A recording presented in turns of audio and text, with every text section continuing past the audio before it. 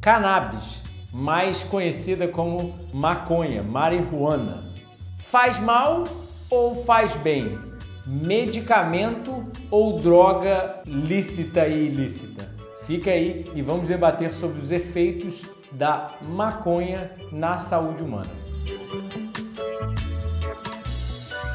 Existe muita controvérsia sobre a cannabis, literalmente a planta da maconha, da onde na verdade é até mesmo tirado a semente de cânhamo. Muita gente não sabe, mas a semente de cânhamo é um alimento muito nutritivo e deveria ser disponível no Brasil, mas é proibido, infelizmente. Um alimento até mesmo riquíssimo em ômega 3, em muitos nutrientes e sem o efeito do THC, ou seja, tetrahidrocannabinol, que é a substância responsável pelos efeitos psíquicos da maconha no organismo. Mas, sim, muita gente não sabe que a maconha, obviamente, é usada para o fumo e até mesmo para o consumo é, em substâncias com, comestíveis, mas ela também está sendo usada ultimamente em, de forma medicinal e existe uma guerra para liberar o uso dela de forma medicinal. Né? Ela tem efeito analgésico, é, capacidade sedativa e miorrelaxante, ou seja, relaxante muscular até mesmo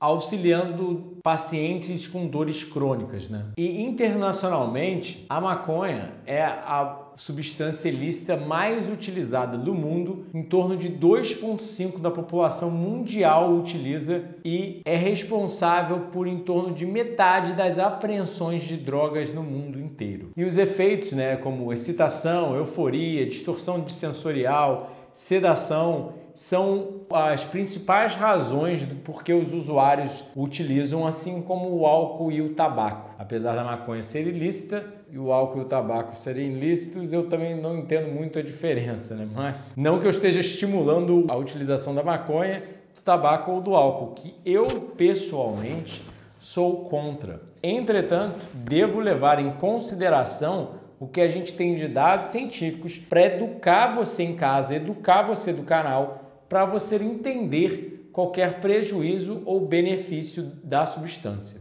E alguns artigos já mostraram efeitos adversos da utilização medicinal, assim como a utilização da substância durante a gravidez e a associação de prejuízos na direção do uso recreacional que pode causar acidentes. Então, aqui está uma tabela de mais ou menos o que a maconha já foi relacionada, provada a nível científico de causar problemas e do que ainda não é concluído, né? Ou seja, aumentar a mortalidade por todas as causas, todo tipo de doença, fibrilação atrial, é, perda de massa óssea, saúde mental, como psicose, prejuízo de sintomas psicóticos, aumentar suicídio, depressão, ansiedade, diversos tipos de cânceres, alterações cerebrais, como na, na massa encefálica branca e na no fluxo sanguíneo, mas outros já foram mais, esses são os inconclusivos, mas os conclusivos que já, já temos dados científicos de prejudicar é, por exemplo, câncer testicular, prejuízos na direção, então isso pode causar acidentes, alterações no, no cérebro, como mudanças em dopamina, redução do volume do hipocampo, eh, mudanças neurocognitivas, como reduzida memória, anedônia, que é a falta de estímulo ao prazer, ou seja, a pessoa não consegue sentir prazer em nada, reduzida eficiência, malefícios associados, por exemplo, com a gravidez,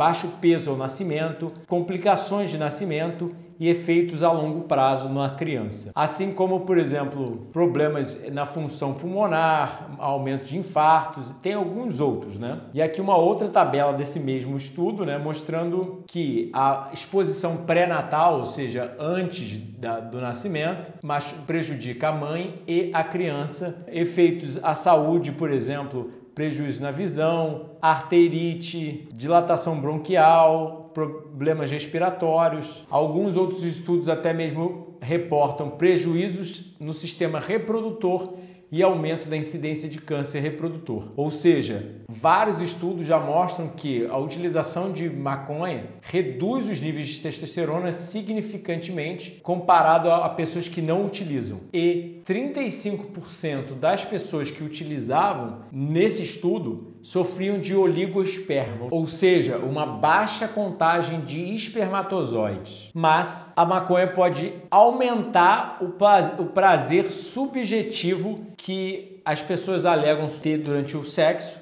Então, algumas coisas já foram comprovadas, por exemplo, a maior incidência de câncer de bexiga para fumantes habituais e que alegavam um maior consumo, uma maior quantidade de utilização. Então, algumas coisas que já foram provadas é aumento do risco de câncer, prejuízos na, na quantidade de sêmen, leves alterações hormonais e como eu já tinha mencionado, eu acho que uma das coisas principais a gente mencionar é que sofrem sim de maior taxas de suicídio, pensamentos suicidas tentativas de suicídio, depressão, episódios maníacos e ansiedade. Então eu, eu, questiono, mesmo com os dados científicos, a droga ainda é permitida em vários estados americanos. Será que permitir uma droga não é incentivar o consumo? Porque, por exemplo, se um parente meu morre num acidente de carro por uma outra pessoa que bebeu e estava embriagado enquanto dirigia, porque já aconteceu, um dos meus melhores amigos realmente morreu num acidente de carro enquanto a pessoa fumava maconha, bebia álcool, usava remédio tarja preta e misturava tudo junto. Realmente foi um choque na época, a gente perdeu um dos nossos melhores amigos, na minha infância isso. Mas aí eu te pergunto, será que ao utilizar uma droga que tem efeitos psicotrópicos, ou seja, tem efeitos de alterações psicológicas, será que isso é só livre-arbítrio ou é influenciar outras pessoas? Porque a gente influencia, por exemplo, quando a droga não é lícita, tem influência a um crime, a um tráfico organizado então você mexe com outras coisas que não é só relativas a você.